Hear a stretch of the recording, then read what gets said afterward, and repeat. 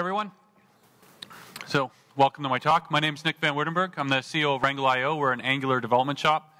Uh, we were actually founded uh, specifically around Angular when it came out and sort of the impact that had on the market.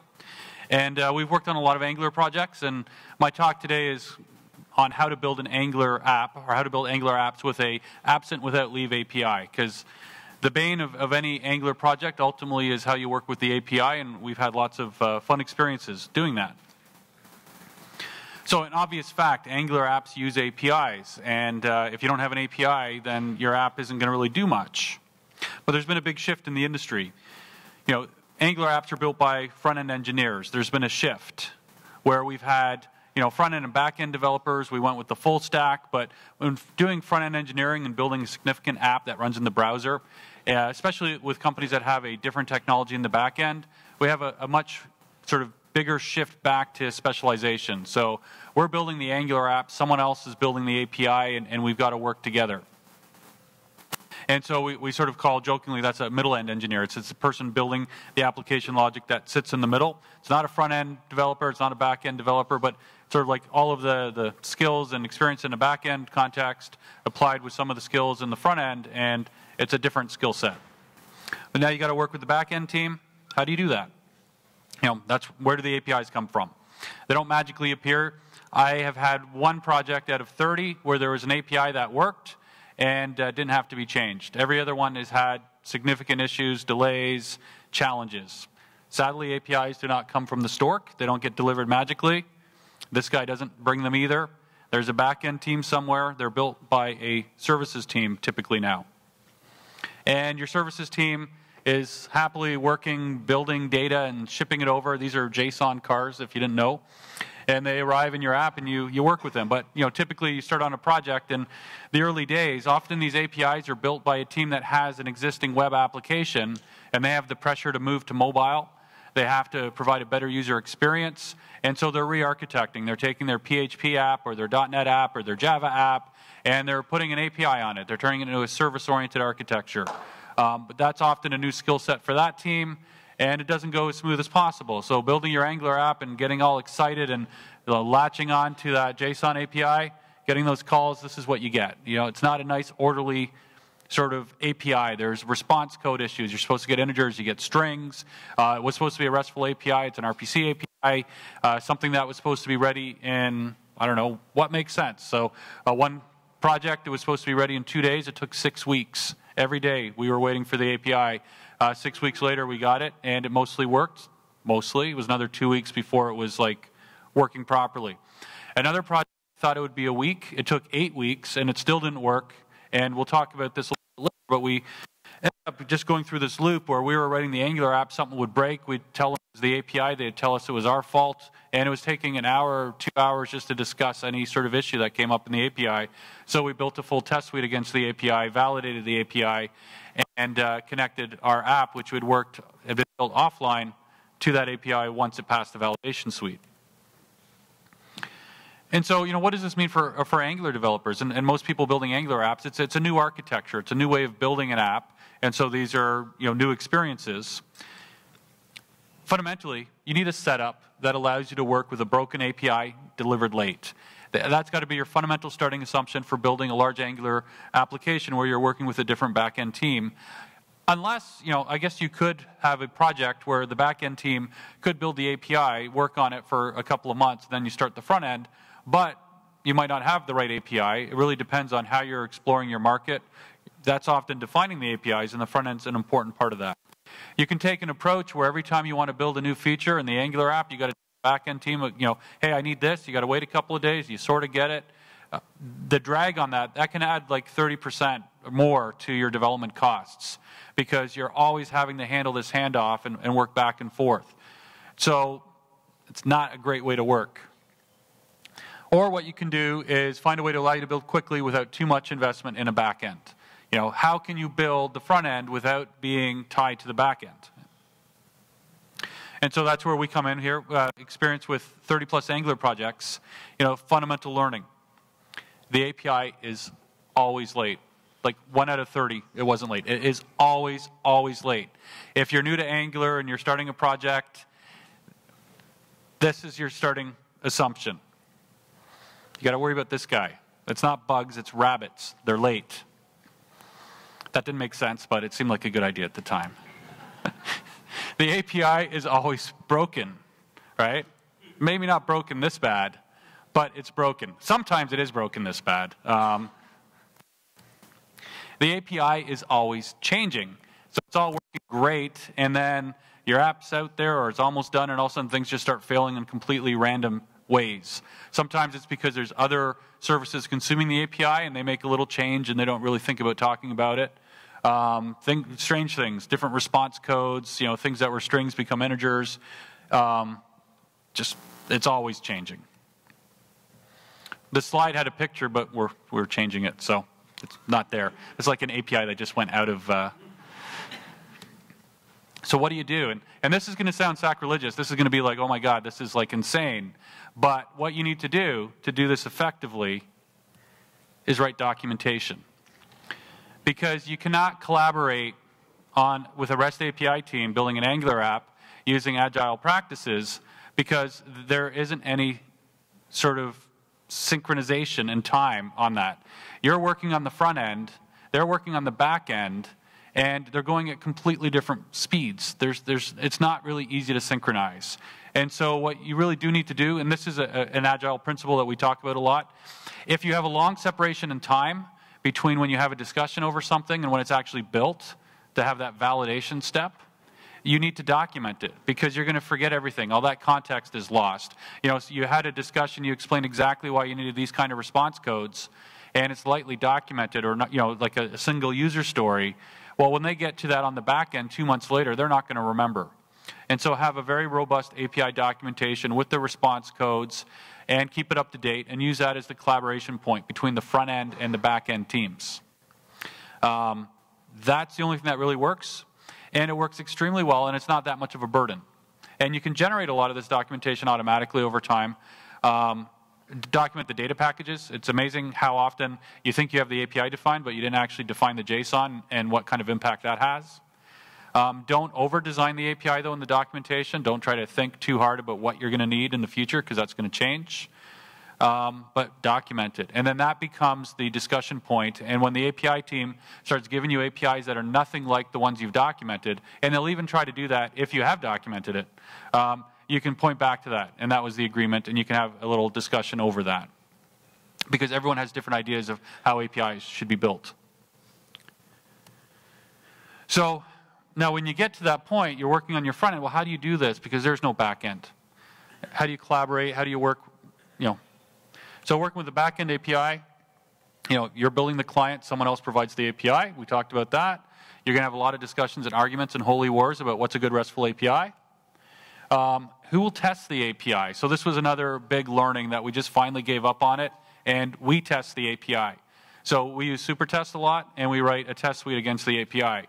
And we did that on one project where it was week after week after week. We were burning hours every day on phone calls with the developers. And uh, we wrote a test suite, and every morning we ran it, and we sent them the error results. And you know, we spent a day and a half, two days writing the test suite, but after that, it was a couple of minutes a day to run it, send it to them, they fixed it.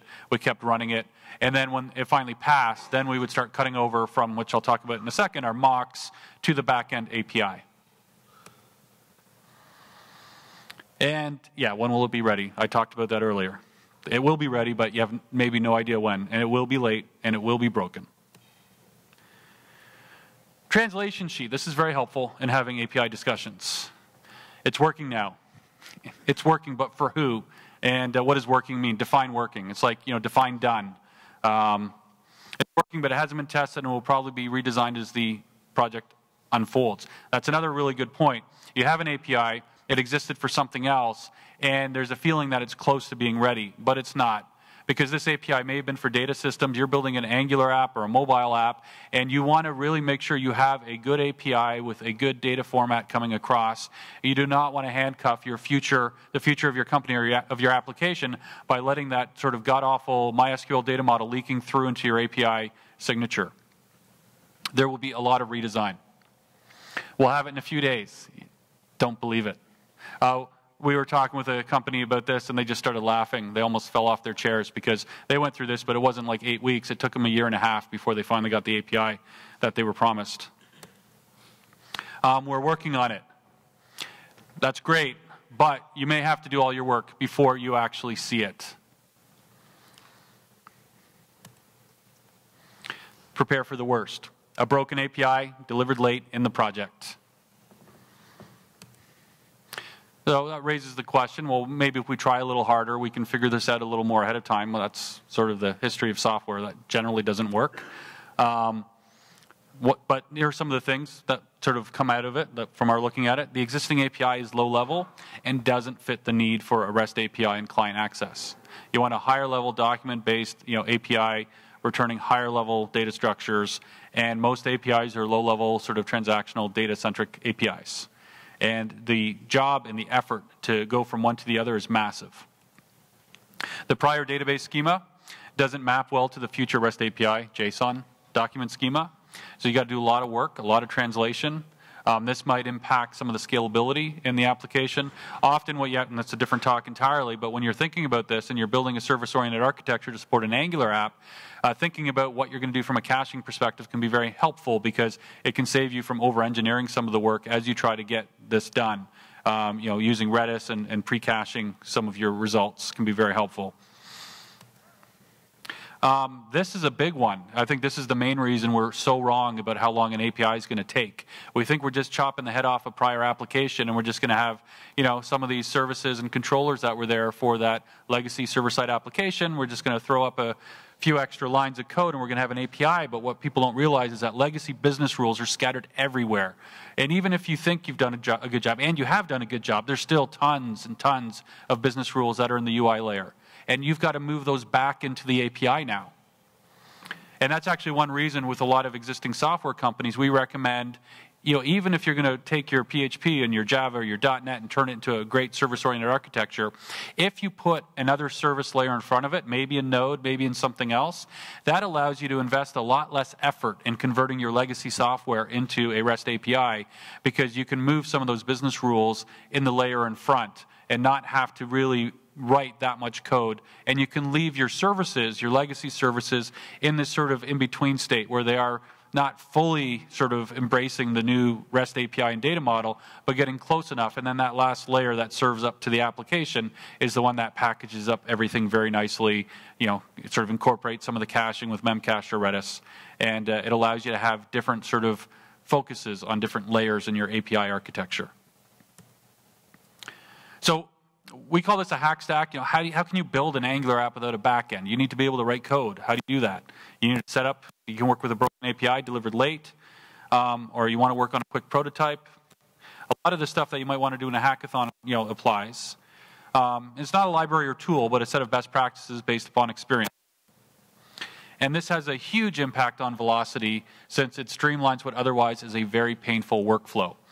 Um, you know, we don't often realize what these, any kind of break in our flow and a conversation that's required to resolve something, what that impact is on productivity, and it's massive. Some agile considerations as well, right? So you're building something in an agile manner. How deep is the user story? If it's then complete and fully delivered, um, that's ideal. That's you know what you want to do. It's a slice of your app, but APIs confound this, right? So what are you going to do? Stop and get that API and build that whole feature? There's, you know, there's a, a real dysfunction here in trying to run an agile process with teams that are working across a REST API boundary. Yeah, how to handle the crossing of the API boundary? Um, do you want to do a single story or two stories? There's a lot of interesting considerations there. Um, generally, we try to work it so that we can build without needing the API. We go as deep as possible. We define the REST API. We define the performance criteria. We define almost everything about it. We finish the story on the front end, and we want to have just a tiny bit of work at the integration stage layer. layer. If you leave too much there, you have this technical debt that you're not perceiving. And so we try to go deep and we talk with the API team, we define performance characteristics, and we're doing this sort of quasi mini waterfall sort of approach at the API level because there's just no way to synchronize these two effectively and still work at a good pace. And it works fairly well because it's a good abstract separation of concerns. Um, there's four kinds of stacks that you can use for working you know, on the front end without a back end. You could use a back end as a service, uh, Firebase, Parse. Um, you can go with a mean stack with a REST API mapper. Uh, we have an open source product called Coast that we use. Um, this is just a way to quickly build out a dev server. We've done this on a number of projects, especially earlier ones. We set up Mongo, we set up Node, we built the front end, and we gave the API definition to the client, and they reworked their .NET server to basically then substitute in for that backend server. That's a lot of work still. Um, there's API services such as Apiary or Swagger. Um, we find those tend to be still fairly limited. And what we often do is something a little more Angular sort of oriented. We take a TDD Angular service driven approach, and this gets into you know, how you architect an Angular application. And uh, I think most you know really good production Angular applications end up being a composition of Angular services, and some of those services are the lower level data layer, and you can mock that out and use your test driven approaches to create both your tests and your mock data. And so, an agile insight where code can't be the documentation, you're delivering and validating in a you know real agile sort of manner. Documentation must be written, which I was mentioned a few minutes ago. So another way to call this is your API therapy stack 101, building a hack stack.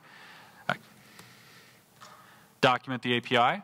So allows you to start making assumptions. Probably not that many binders, hopefully. Um, it can unearth problems that would lead later to delays. Um, apiary can be useful or similar services, but Google Docs can be fine or Word documents. We, we typically go with that. It's just easier to bang out the, the information.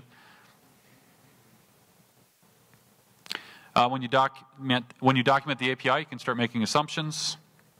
Can unearth problems that would later lead to. Uh, what happened there? There we go. Mocking the API. So this is our preferred approach. Uh, TDD, the first thing to try, you're doing test-driven development, you're creating mocks, you're creating some data. You can expand that out a bit, and uh, that can actually help you run your app, sort of disconnected from the back end. Mock server can work well, but can be expensive. And client-side mocking. So, you know, you can actually do your test-driven development and work your client-side mocking with a lot of the same uh, code. So here's one scenario, your tasks endpoint. Uh, we expect eventually to have a task endpoint that would give us REST access to tasks. Awesome. We agreed on what the return JSON would look like, and the, you know, the services team is working on that. Uh, we've also agreed on how problems are going to be handled. That's the other huge thing. When something fails, um, there's just so, like a, probably a good third of, of, an API project is handling those exceptions, and people actually don't think about them uh, generally when defining an API, and you start fixing these one at a time. Um, now you're waiting for the endpoint, so let's get building an Angular app. So client-side mocking. So leave our task services out of it, uh, but we have to proxy all of our API calls through the API proxy. That will be in the mocking. So we'll go into that a little more. We can put mock data into a mock test mock data service. And we can put mock logic into a task mock service posts, puts, etc. can modify data in memory.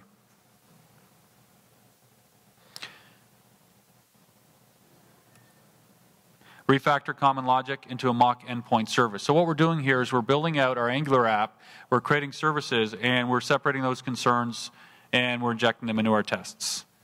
And we have an API service or similar, we'll direct API requests to the mock services when appropriate. So you can actually mix the two together. So if you have a, a service here, you want to get tasks, you're calling the API, that's what it would look like in a simplified non-production sort of format.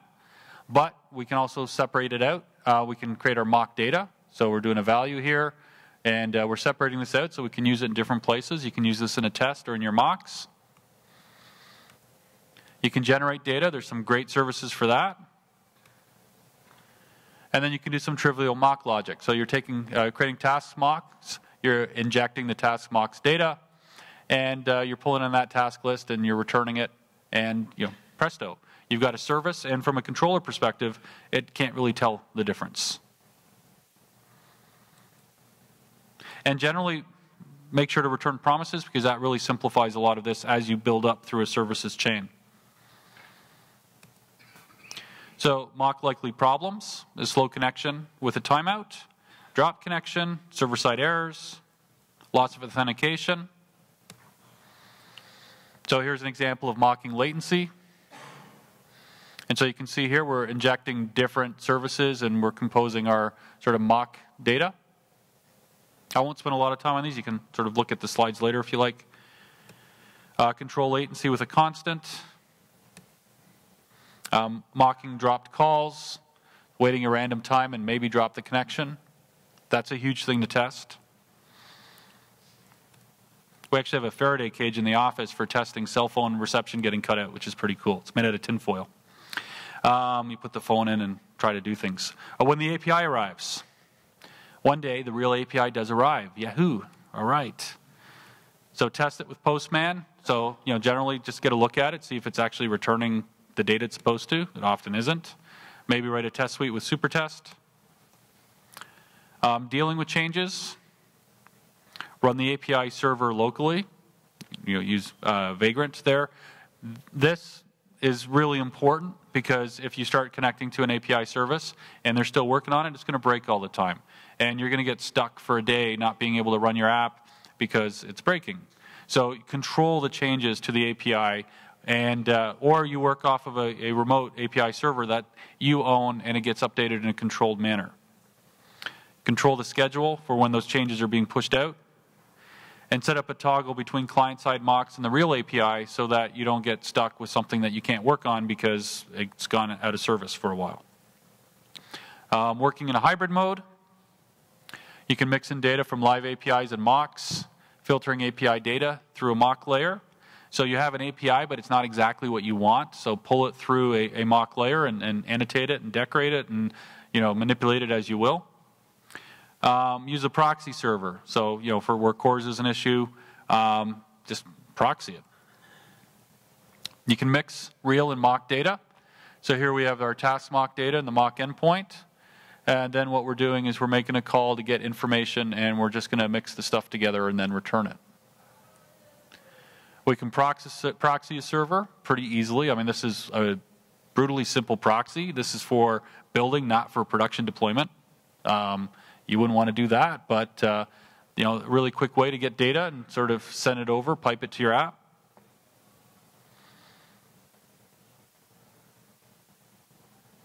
And uh,